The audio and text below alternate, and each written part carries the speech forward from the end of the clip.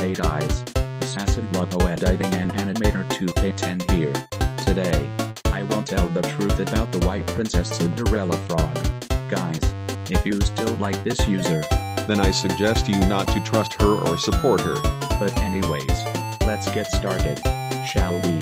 According to BTWV2K2 and Maurice King 2, new White Princess Cinderella Frog is now actually a pedophile and child abuse supporter. Let me give me a reason why. 1. She dated with a minor. Which proves that you are a pedophile. What a big shame you are. 2.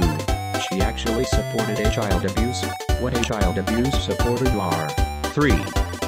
She dated with a predator. What a bigger shame you are. 4. She plays the victim card. 5. The final one is she grooms two minors. What a biggest shame you are. Like we said for the last time. You are making you a pedophile. What a pedophilia you are. And do I Princess Cinderella Frog? If you are watching this, then we are not friends with you anymore. But anyways, this is me, signing off. God bless you all.